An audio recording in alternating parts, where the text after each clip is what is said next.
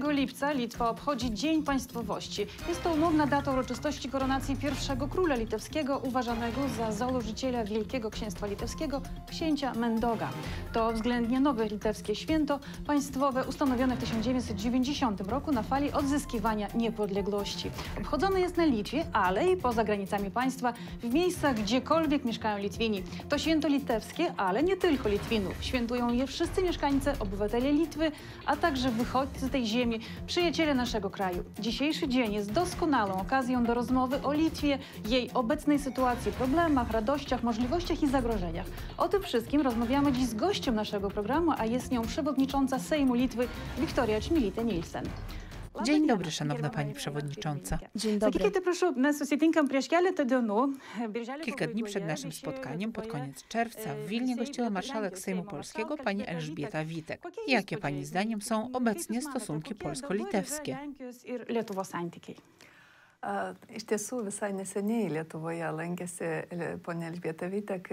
Rzeczywiście całkiem niedawno Litwę odwiedziła pani Elżbieta Witek. Cieszę się, że relacje i współpraca z Polską w różnych dziedzinach są ścisłe i dobre jak nigdy wcześniej. Po, Po kilku e, latach kelių, ochlodzenia w e, naszych stosunkach, co komentatorzy nazwali nawet zimnym pokojem, mamy naprawdę dobrą sytuację i odnajdujemy możliwości współpracy w e, takich obszarach e, jak bezpieczeństwo, bezpieczeństwo cybernetyczne, projekty infrastrukturalne, e, różne kwestie užsienio polityki politikos zagranicznej klausimai, związane na tokie przykład kaip, z e, Białorusią susiję su, oraz pavyzdžiui, partnerstwo Baltarusija, wschodnie. rytų partnerystė. Jo, čia ne, ne, tokie To nelengvi trudne klausimai. sprawy. Visiškai e, būtent taip ir meu- mūsų. Zgadzam e, się. Nasza współpraca z bendradarbiavimas Polską šioje jest vietoje su niezwykle Lenkija korzystna yra dla obydwu nepaprastai krajów, ponieważ naudinga przemawiając w tak abiejoms ważnych šalims, kwestiach jak e, polityka kadangi zagraniczna i kalbėdami partnerstwo vienu wschodnie balsu jednym głosem tokiais powodujemy, svarbiais że ten klausimais, głos užsienio jest politikos donośniejszy.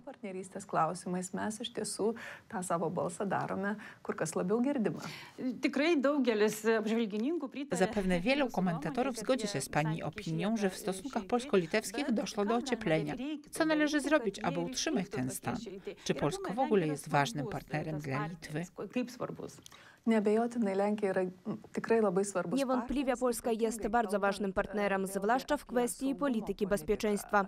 Em, Znajdujemy się w trudnym sąsiedztwie. Chodzi zarówno o wielkiego sąsiada na wschodzie, który jest nieprzewidywalny i rzeczywiście bardzo niebezpieczny, jak i o reżim na Białorusi, którego działania, zwłaszcza ostatnio, stają się coraz bardziej desperackie i coraz trudniejsze do przewidzenia. imtasi, Mówię o tym, świadkiem byliśmy w ostatnich tygodniach, gdy po zmuszeniu samolotu do lądowania w Mińsku i po zdecydowanej reakcji Litwy na arenie międzynarodowej podjęto działania destabilizujące na Litwie. Na przykład pobudzono czy nawet organizowano Tai na poziomie państwowym nielegalną emigrację. Takie dar zdarzenia jeszcze bardziej uzmysławiają nam wagę partnerstwa z Polską. Dużo o tym ir z panią Witek podczas jej wizyty na Litwie. Co można zrobić i w jakich obszarach, aby jeszcze bardziej polepszyć stosunki z Polską? Co można udoskonalić? Jakie działania należy podjąć? Yra kelios e, sritys, kuriuose mes tikrai dar galime pasiekti. Tai visų pirma yra. Jest kilka obszarów, w których rzeczywiście możemy dążyć do postępu. Przede wszystkim e, jest to dość stara już kwestia pisowni nazwisk. W umowie koalicyjnej znajduje się punkt, w którym zapisano tę sprawę jako jedną z tych prac, które należy zrealizować w E, Sejmie. Do umowy wpisał ją właśnie ruch liberalów, ponieważ jest to jedna z klausimų. naprawdę ważnych Em, kwestii. Cieszę się, że podczas sesji wiosennej była ona svarstytas zarówno omówiona w komitetach, jak i zyskała pozytywną opinię rządu. Zostało omówienie w Komitecie Prawa i Ustawodawstwa. W części społeczeństwa panuje opinia, że obecny Sejm jest bardziej skłonny rozwiązywać problemy polskiej społeczności. Czy rzeczywiście atmosfera jest bardziej życzliwa?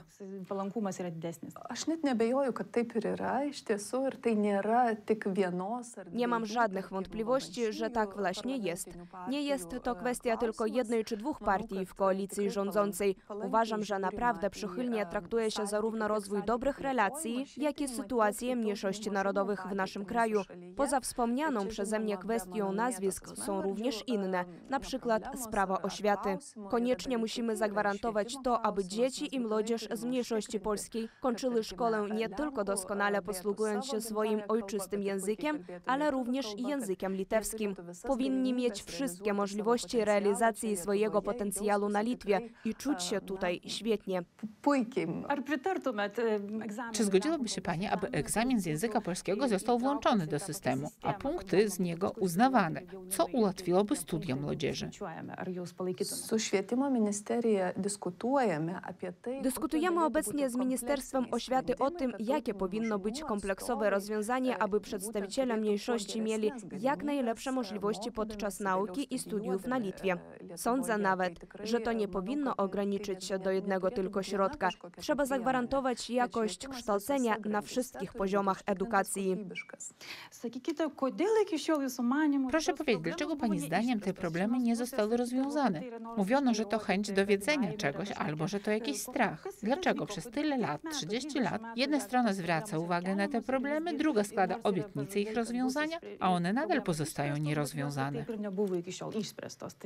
Kur čia ta problema? Aš manau, kad e, yra, žinoma, kaip Myślę, że jest postęp. Jak często zdarza się w takich przypadkach, nie jest on tak szybki, jakby się tego pragnęło.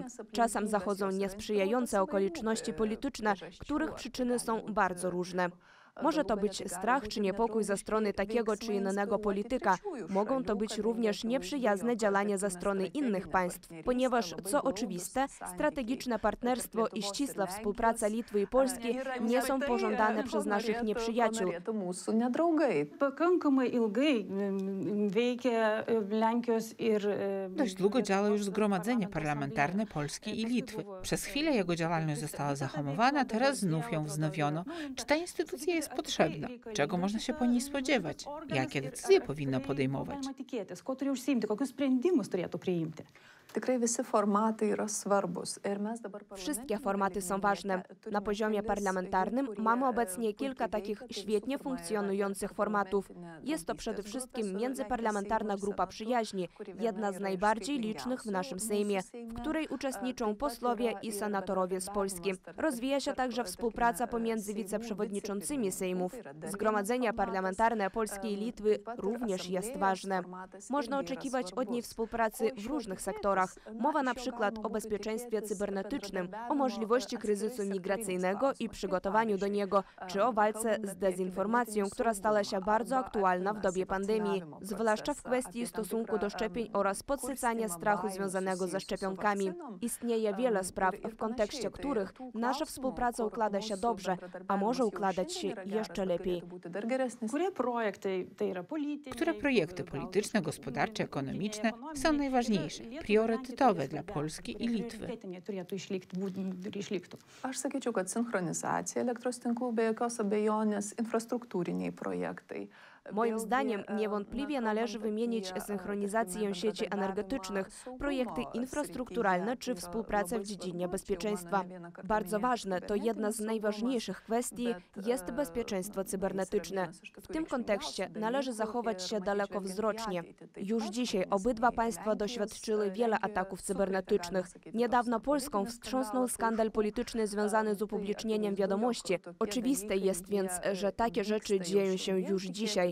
Mając na uwadze to, że zagrożenie pochodzi z tego samego źródła i może w równym stopniu dotknąć nasze państwa, to współpraca naszych ekspertów, polityków i przedstawicieli służb bezpieczeństwa jest bardzo ważna. Nacionalinio saugumo srities atstovų bendradarbiavimas yra labai svarbus. Jau minėjote, kad tie... Wspominała Pani, że spotkania są bardzo potrzebne.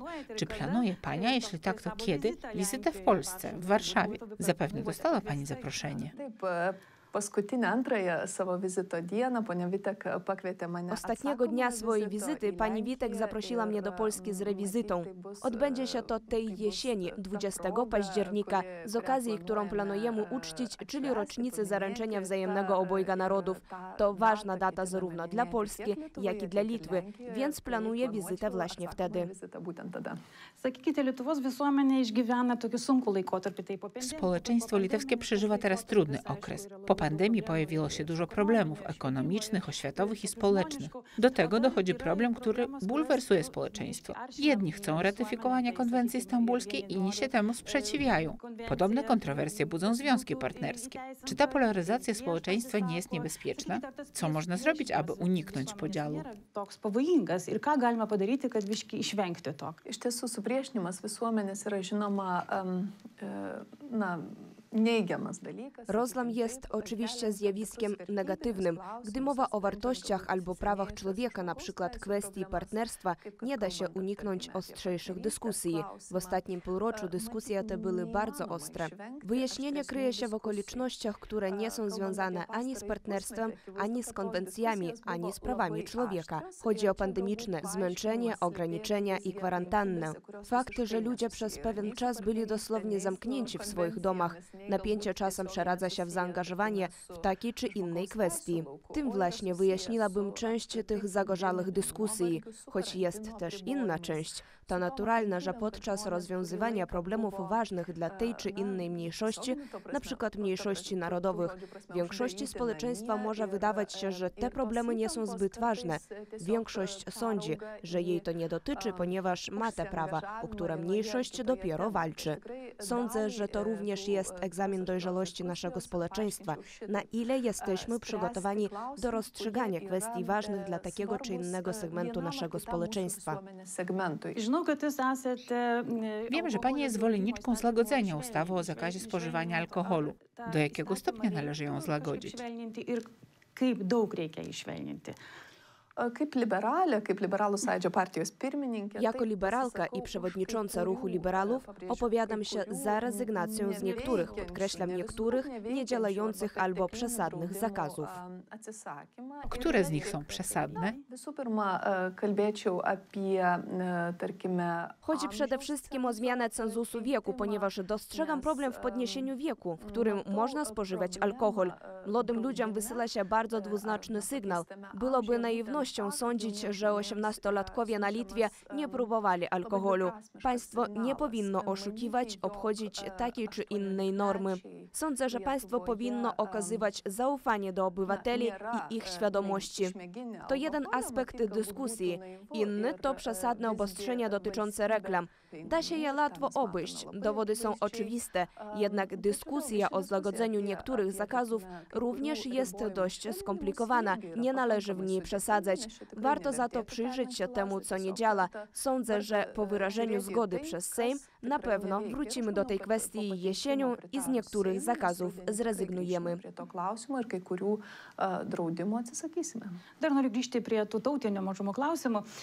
Chciałabym wrócić jeszcze do kwestii mniejszości narodowych. W Sejmie w opozycji działa trzech przedstawicieli Partii Polskiej. Czy nie było pomysłu, aby zaprosić ich do koalicji rządzącej w celu rozwiązania problemów mniejszości narodowych? Aš manau, kad e, mes puikiausiai galime bendradarbiauti, e, spręsdami Uważam, że możemy świetnie problemas, współpracować e, przy rozwiązywaniu problemów w porządku tematycznym. e, Jesteśmy otwarci na współpracę z opozycją i grupami mieszanymi w różnych sprawach. Prawdę mówiąc, już to robimy. Sądzę zatem, że gdy dojdzie do głosowania e, dotyczącego praw mniejszości narodowych, e, pisowni nazwisk i innych kwestii, które są na górze w e, porządku naszych prac, zbiegają się z nimi albo przeplatają, to wsparcie i tikrai współpraca będą bardzo dobre. politiką. Mówiłyśmy wiele o polityce zagranicznej. Cały świat, a zwłaszcza państwa bałtyckie, zaniepokojone są agresywnym tonem i retoryką. Rosji. Litwa rzeczywiście nie czuje się bezpiecznie. Jakie nie- powinna podjąć Litwa z Polską, Ką aby zmienić tę sytuację? Agresję czy wręcz Lietuva przejawy nienawiści?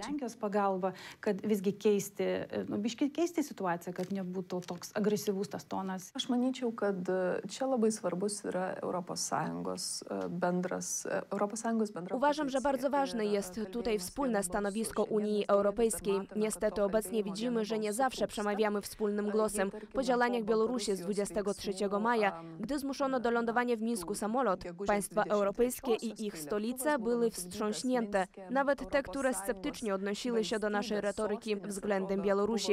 Wprowadzanie pakietu nowych sankcji nabrało znacznie szybszego tempa, ponieważ stało się oczywiste, że takie nieprzewidywalny reżim stanowi zagrożenie dla wszystkich. Jedynym wyjściem jest dla nas wspólne stanowisko i współpraca z innymi państwami Unii Europejskiej w kwestii surowszych sankcji oraz izolacji reżimu, który zachowuje się nieadekwatnie i jest zagrożeniem dla sąsiadów. Czy uważa pani, że Europa zgodzi się na zwiększenie sankcji wobec Rosji? Białoruś to jedna sprawa. Zapewne jednak trudniej jest przekonać partnerów z Europy, że potrzebne są sankcje wobec Rosji.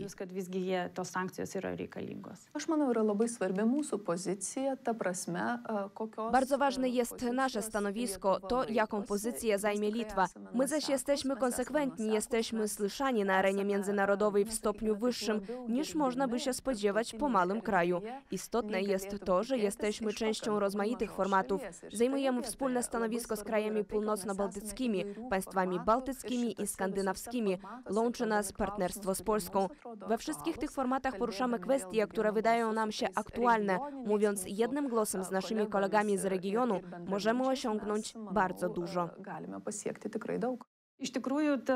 Litwa naprawdę wiele osiągnęła, nagłaśniając sytuację w Białorusi. Jak pani sądzi, co jeszcze można zrobić, jakie konkretne działania podjąć? Czy sankcje wobec Białorusi są wystarczające, czy należy je zaostrzyć? Co jeszcze Polska i Litwa mogą razem zrobić?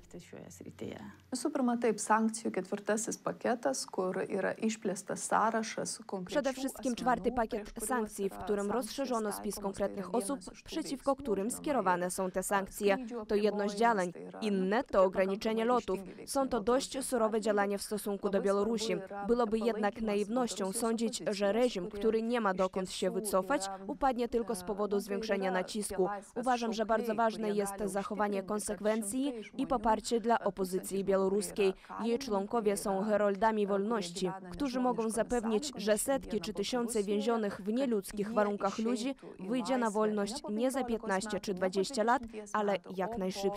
O Musimy zrozumieć, że tuż obok e, nas dzieją się rzeczy, które trudno sobie wyobrazić. Dlatego naszym moralnym obowiązkiem jest niesienie pomocy ludziom, którzy toczą dziś walkę swojego życia.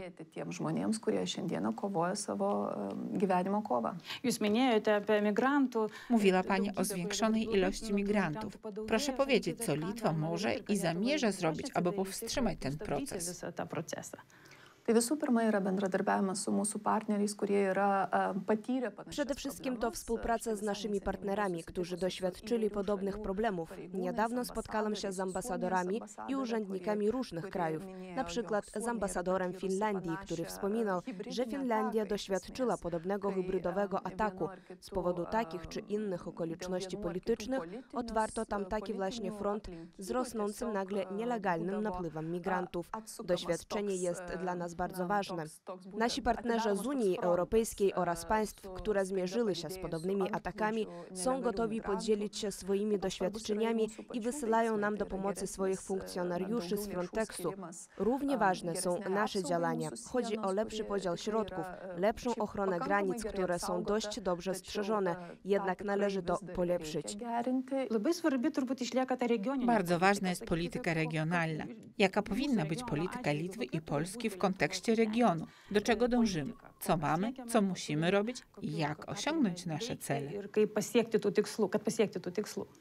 Na, bendrų infrastruktūrinių e, projektų. e, Rzeczami, co do których całkowicie się zgadzamy, są rozwój wspólnych projektów infrastrukturalnych i wspólna praca w dziedzinie bezpieczeństwa naszych państw. Ważne, aby nieustannie pielęgnować nasze związki i ciągle organizować spotkania, ponieważ oczywiste jest, że stale komunikując się ze sobą i współpracując, łatwiej rozwiązywać pojawiające się problemy. Rozmowa na poziomie politycznym jest bardzo ważna. Cieszę się, mogąc stwierdzić, że dziś jest ona bardzo intensywna.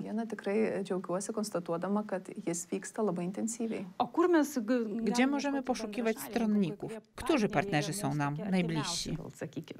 Na, kaip jau minėjau, e, Nordic Baltic, tas formatas Lietuvai yra tikrai labai labai svarbus. Jak już wspomniałam, format e, Nordic Baltic e, jest dla Litwy bardzo ważny. Podczas wizyty pani Witek dużo rozmawialiśmy o inicjatywie Trójmorza, która również łączy państwa niezbyt ściśle dotąd powiązane. Format współpracy rozciągającej się z północy na południe również można rozwinąć. W tym kontekście bardzo ciekawa jest inicjatywa strony polskiej, aby parlamenty zachęciły swoich najmłodszych członków do pracy pracy nad koncepcją Trójmorza i myślenia o perspektywach, czyli do planowania pola współpracy nie na rok, nie na dwa lata, ale na dziesięciolecia do przodu. Uważam, że to ciekawa i obiecująca idea. Mówiłam już o niej z naszymi najmłodszymi parlamentarzystami, zachęcając ich do przyłączenia się do niej. Na, ragindama juos kuo aktyviau įsijungti. Lietuva yra žinoma kaip poli- moterų Litwa znana jest jako kraj rządzony przez kobiety. Mieliśmy kobiety na stanowisku prezydenta. Obecnie kobieta sprawuje urząd premiera. Pani jest przewodniczącą ruchu liberalów. Czy polityka kobiet różni się od polityki mężczyzn? Aš manyčiau, kad šiek tiek skiriasi, nors aišku, e, viskas priklauso. Sądzę, że e, nieco się różni, chociaż wszystko zależy od E, konkretnych osób. Kobiety też mogą być uważane za stereotypowo męskie, a mężczyźni mogą być delikatni. Mówiąc poważnie, kobiety bardziej skłonne są do kompromisów i moim zdaniem postępują bardziej dyplomatycznie. Wydaje mi się, że gdy kobiety zasiadają do stołu, przy którym podejmowane są decyzje, to nie ambicje odgrywają najważniejszą rolę, to plus. Ambicijos nevaidina paties svarbiausio vaidmens. Ir tai yra pliusas. Turbūt ir tuose temose, kur yra W takich kwestiach jak konwencja stambulska czy związki partnerskie kobietom pewnie łatwiej przekonywać, że to ważne tematy i problemy. A, Taip, dėl to yra labai svarbu, kad pavyzdžiui parlamentas būtų iš tiesų visuomenės um, Tak, dlatego to ważne, aby parlament był ir społeczeństwa, czyli żeby było w nim dużo kobiet czy przedstawicieli różnych grup wiekowych. W tym kontekście ważna jest decyzja Sejmu o zmianach w konstytucji w związku z wiekiem kandydatów do 25 Sejmu, aby mogli kandydować do niego ludzie od turime 21 pakankamai, roku życia. Obecnie średnia wieku w Sejmie to dość Seime dojrzałe lata. Często na, znaczy to, że niektóre kwestie aktualne dla tej czy innej grupy, nie posiadającej swoich przedstawicieli w parlamencie, nie doczekują się należytej uwagi. Rzeczywiście to istotne, aby e, kobiety udzielały się w kwestiach bardziej aktualnych dla kobiet, ale jednocześnie chcę podkreślić, że równie ważne jest to, aby kobiety w polityce odważnie angażowały się w sprawy, które tradycyjnie nie są uważane za kobiece. Polityka zagraniczna i bezpieczeństwo to obszary, w których naprawdę potrzeba również kobiecej e, perspektywy i przewodnictwa. Jest pani szachistką, a szachy również uznawane są za męski sport. Zdobywała pani nagrody i uczestniczyła w zawodach w Europie i na całym świecie. Proszę powiedzieć, czy te doświadczenia pomagają pani w polityce? Taip, šachmatinė patirtis jį padeda visose srityse gyvenimo, politikoje taipogi. Tak, doświadczenie szachowe pomaga we wszystkich dziedzinach życia, również w polityce. Często szachy są porównywane z polityką. W takich przypadkach zawsze mówię ze śmiechem, że szachy są łatwiejsze, 64 ponieważ w naszej grze są e, 64 kiekviena pola, a każda figura e, porusza się zgodnie z uprzednio znanymi zasadami. W polityce takich zasad nie ma, dlatego szachiści, którzy stali się politykami, e, czasem wydają się szczerzy i nieco naiwni. e. Bet dažnai pasitaiko Ale często zdarza im się zaszachować kogoś w polityce. Różnie bywa. Spotykamy się w dniu bardzo ważnego, uroczystego święta, koronacji króla Mendoga. Czego chciałaby Pani życzyć Litwinom, Polakom, Rosjanom, wszystkim narodowościom i wszystkim mieszkańcom Litwy? Visoms tautybės, visiems e, gyven, Lietuvos gyventojams. Taip, Liepos 6 diena būtent Święto 6 tą lipca przypomina nam o państwie, które mieliśmy w XIII e, wieku 13 oraz o tym, że już wtedy, poczynając od tego czasu, Litwa na swoim terytorium łączyła ludzi różnych narodowości, którzy potrafili niezwykle e, pięknie ze sobą żyć. Nie tylko w regionie, ale w całej Europie staliśmy się przykładem tolerancji i szerokiego horyzontu współżycia i współpracy ludzi różnej narodowości, religii i przekonań. Uważam, że ten przykład, o którym przypomina nam historia, jest bardzo dobry i ważny w kontekście przyszłości. e, Powinniśmy czerpać natchnienie z tej pięknej przeszłości, z tych e, pięknych przykładów i rozwijać swoją wielokulturowość, dbać o każdą em, mniejszość narodową, rozumiejąc, że dla państwa to olbrzymie bogactwo i e, gwarant postępu w przyszłości. E, na, pažangos ateityje garantas. Dziękuję za rozmowę. Mam nadzieję, że będziemy czerpać doświadczenia z historii, będziemy potrafili pięknie żyć i osiągniemy dobrostan. Dziękuję. Dziękuję. Proszę Państwa, żeby te wszystkie życzenia sprawdziły się i spełniły się, a my z kolei życzymy, ażeby Sejmie, w naszym kraju, o wszystkich tych sprawach, o których rozmawiałyśmy, żeby te wszystkie sprawy były podjęte, doczekały się pozytywnych rozstrzygnięć i rozwiązań. Y, Przypominam, że rozmawialiśmy dzisiaj z panią przewodniczącą litewskiego Sejmu, Wiktorią Czmilitę-Nielsen, a już dzisiaj, proszę państwa, życzę dobrego wieczoru, udanego święta i do kolejnych spotkań w Studio Wilno.